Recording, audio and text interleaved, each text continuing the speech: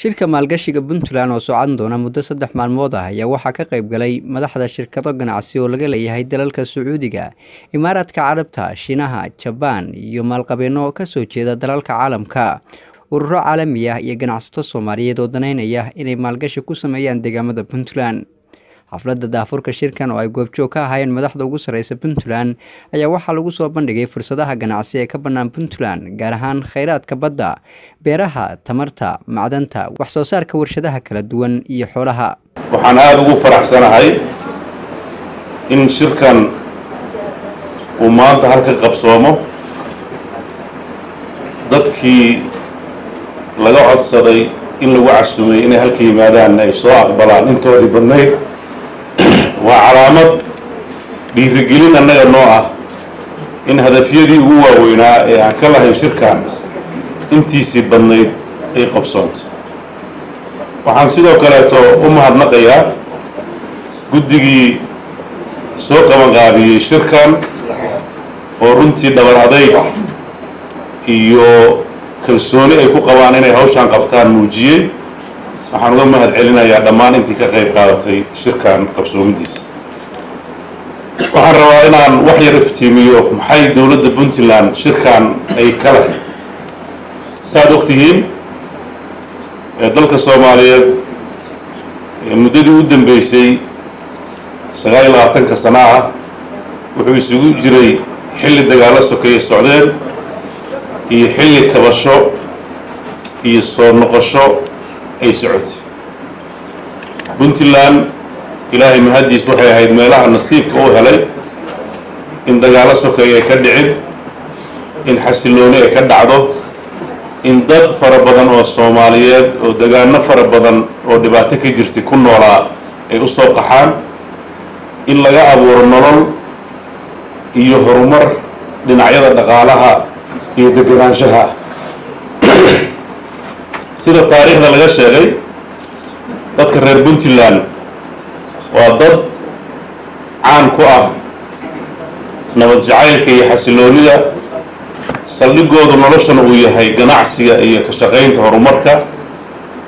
Xirfaddii yarayd oo ganacsiga oo ahayd bucshiradu ay lahaayeen waxay geysiisay horaantii qarnigii sagaal iyo tobnaad. Markay ku filnaan weyday degaanadooda shaqadii ka jirtay oo ah wax isweydaarsiga inay u boqooraan degaano kaleeto oo ka baxsan puntland. Haddaad taariikhda dib u raacdaan degaanada soomaaliyeed oo dhan waxaad ku arkaysaan dukaamadii ugu horreeyey iyo shaqooyinkii ganacsi ugu horreeyey waxaa lahaa dad reer puntland iyo dad carab oo weliba yeman u badan ayaa meelaha ka wada furtay. Waxay u tallaabeen africa waxaad ogtihiin kenya tanzania uganda zambia. Ilaa south africa dadka inta badan hormuudka u ahaa ka ganacsiga. Waxay u badnaayeen dadka degaanadan waxaan aada u arkay waddamada khaliijka cumaan iyo kuwait iyo imaaraadka iyo sacuudiga. Inta badan dad reer puntland ayaa ganacsiyadii ugu horreeyey xilli dadkaas ay hanti lahayn ay tilmaamayaan. Markaa dadkooda waaweyn la sheekaysatid waxay ku weydiinayaan odayaal hore magacyadood inaan naqaanay in kaleto maadaama ay soomaali ahaayeen dhulka caanka ahaayeen. Xirfadoodii ganacsiga nooca loo yaqaano oo trade-ka ah waxaa ku soo biiray muddadii u dambeysay jiil cusub aqoontoodu kabacday dhaqaalahoodu kabcay laakiin nasiib daro caqligii iyo aqoontii iyo kulli haddana waxay uga qayb qaateen dalal kale inay maalgelin ku sameeyaan oo dalalka africa u badan iyo dalalka kaleeto khaliijka waxaan isweydiinay maadaama reer puntland awooddaas ay leeyihiin dalkuna arrintii ay uga tageen ay ahayd trade-ka ma habboon tahay hadda in la abuuro jawi kale oo waxyaabaha khayraadka investmentigu waa uu ka duwan yahay trade-ka marka la sameynayo waxaa nagu soo dhacday inaan awood badan oo dad reer puntland ay dadkan leeyihiin oo haddii dib loo soo celiyo oo lagala shaqeeyo iyaga kabitaalkooda iyo kabitaalka ummadaha kaleeta adduunka iyo dowladda oo diyaar u ah inay fududayso dhammaan waxyaabaha ku saabsan maalgelinta oo u baahan qorshaha dheer hadday iskaashadaan amay suuragal tahay mar labaad puntland in ay hesho iyo soomaaliyaba fursad kaleeto oo ka ballaaran midda ay maanta haysato oo u horseeda dadkeeda xasilooni intaa haysta in ka badan oo dhibaatooyinka u badan ee dhinaca shaqala-aanta sababay inay dadku ama xajir noqdaan ama dalka ka qaxaan oo degaano kaleeto nolol u raadsadaan amay suuragal tahay inay arrintaa ka bedesho hadafkaas wuxuu ahaa hadaf. Runtii dowladdu markay dood badan ka yeelatay ay u aragtay inay tahay munaasab in shir noocaan oo kalea la qabto hadafka labaad oo ku xambaaray wuxuu ahaa markii la arkay muddadii u dambeeyey koob iyo labaatankii sano ay puntland jirtay. Waxyaabaha ugu waaweyn ay ku tiirsan tahay dhaqaalaha puntland xagga dowladda waxay u badnaatay hay'adaha deeqbixiyaasha ah in ay mar walba qorshaha ugu weyn uu noqoto inay deeqbixiyaal raadiso ka kaalmeeyo mashaariicda horumarinta ee dalkan u leeyahay. Waxaa u soo baxay dowladda puntland hadday sidaa ku sii jirto inay adag tahay deeqbixiyaashuna ka daari doonaan. Shaqooyinka hadda ay dadkooda u hayaan deeqbixiyaashuna hadhowtina dowladda puntland oon diyaar u ahayn ay isku soo dhici doonaan oo halkaas ay ka abuurmi doonto inay dowladda puntland mar labaad ay hoos u dhacdo ama collapse garoodo. Fursadda aan hadda dowladdu ay iftiiminayso waxa weeye inay si taxadar leh oo oo horukac leh ay u maaraysto siday dadkeeda ugu adeegi lahayd inay furto maalgashi dhaqaaluhu kobco dowladdu ay ka hesho cashuur dakhligaas ay ka hesho ay dadkooda ugu adeegto mustaqbalka dhowna ay uga kaaltoonto deeqbixiyaasha oo runtii daal badan ka muujinaya soomaaliya oo muddadii u dambeysay oo dhan gargaarka ka yimaada dowladaha saaxiibada nahay iyo walaalaha nahay ku tiirsanay. Waxaa isqaban weynay dalka soomaaliyeed waa qani inaan ku celcelinno xeebta u dheer ee soomaaliya leedahay adduun africa bay leedahay ama talabaad waxay ku taallaa meel istraatiiji ah waxay leedahay macaadin iyo batrool waxay leedahay livestock aada u badan waxay leedahay beero wabiyaal mara iyo waxaa isqaban waayey baryo joogta ah oo maanta maalin walba caalamka loo fidinayo. Su'aashu marka waxay tahay suuragal ma tahay hadafkaas inay soomaali beddesho. Puntland waxay goosatay siday markii horeba ay soomaalida oo xaalad adag ku jirta ay u goosatay inay maamul dhisato oo dowlad dhisato koob iyo labaatan sano ka hor. Oo runtii ay mahad badan ay ugu hayso shacabkii iyo madaxdii xilligaas garatay kana qayb qaadatay wanaaggaas inay soomaaliya inteeda kale u gudbiso oo ay ka shaqaysa in dowlad federaala dhalato oo dowladaha kale hadda abuurmay ee federaalka ay qayb ka qaadato. Waxaan haddana goosannay inaan mar labaad dadka soomaaliyeed hormuud ugu noqonno inaan noqonno dad isku tashada oo isku tashigu uusan noqon mid ah dowladda waxay dadka soomaaliyeed aada u yaqaanaa waxa la yidhaha iskaa wax u qabso. Meel waa la dhisi karaa. Kaas laakiin isku tashi maaha. Waxaa la rabaa isku tashi waara. Isku tashiga waara ama waxa weye dadku in loo jiheeyo dhinaca wax soo saarka. Inay dhaqaale samaystaan inay wax soo saaraan in kobaca dhaqaaluhu kor u kaco si dowladdu ay markaa u waarto oo ay u jirto. Arrintaas ayuu ahaa hadafka labaad. Oo aan isleenahay hordhac uga noqda in aada bartaan dadka soomaaliyeed heerkii ganacsi ay yaqaaneen heer ka ballaaran oo ah in khayraadka dihim oo aan deg dega looga herin faa'iidada dhow in loo jiheeyo dadka. Waxaan aada ugu mahadnaqayaa dadka reer puntland oo i dhiiri geliyay shirkaan inuu qabsoomi karo. Waa degaankii ugu horreeyey oo maalgashi waddani ah ay ku dhiiratay inay deka dhisto. Dekadda garacad iyo shirkadda wadda waan uga mahad celinaya initiativeka intaa la eg wuxuuna u muuqday wax la xaqiijin karo xaqiiqdii waxaan rajaynayaa in fursaddan kambanigaas iyo kambaniyada kale aragtiyaha haya inay soo bandhigaan fursadaha maalgashiga ku habboon ee la hayo waxaan kaloo rabnaa fursadaha hadafkan inaan uga faa'idaysano inaan isbarno. Dadka aragtida haya dadka dhaqaalaha dibadda haya iyo ma bangiyada curdinka ee ka abuurmay geyiga soomaaliya oo haya dhaqaalo ay meel ay uga shaqeeyaan la